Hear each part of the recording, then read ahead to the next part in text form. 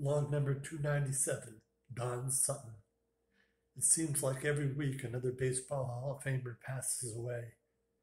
This week it was Don Sutton. Donald Howard Sutton was born on April 2nd, 1945, in Sealo, Alabama. He made his major league debut on April 14, 1966, for the Los Angeles Dodgers. He was a right handed pitcher who played the majority of his career with Dodgers.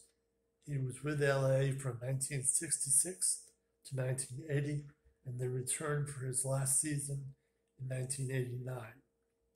He also played for the Houston Astros, the Milwaukee Brewers, Oakland Athletics, and the California Angels.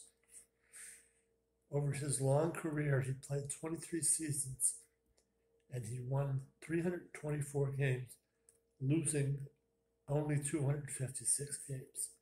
His career, career ERA was very respectable 3.26. He pitched 58 shutouts in his career. He was a very, very good pitcher for a long time. He made the All Star game four times, all in the 1970s. He was inducted into the Baseball Hall of Fame in 1998. After retiring from baseball, he became a broadcaster for both the Dodgers and the Atlanta Braves.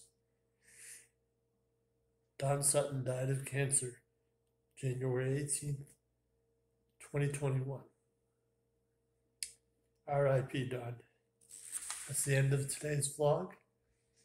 I hope everybody stays safe.